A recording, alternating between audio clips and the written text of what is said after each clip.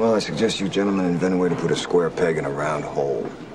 Rapidly. It's right there for three years. Remember? Square peg, round hole.